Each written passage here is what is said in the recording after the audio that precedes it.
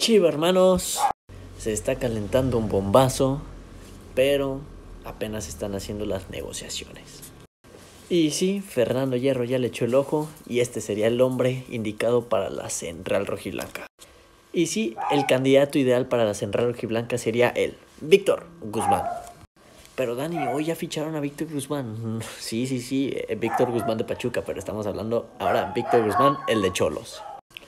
Pues ahora que Víctor El Pocho Guzmán y Daniel Ríos han sido presentados con Chivas, el siguiente objetivo para Fernando Hierro sería él, Víctor Guzmán para la Central Rojiblanca. Entonces, el jugador de Cholos, que actualmente tiene 20 años, sería el candidato ideal para la saga rojiblanca. ¿Y ustedes, hermanos, qué opinan sobre este fichaje? ¿Lo ven? ¿No lo ven? Yo a ustedes los leo en los comentarios.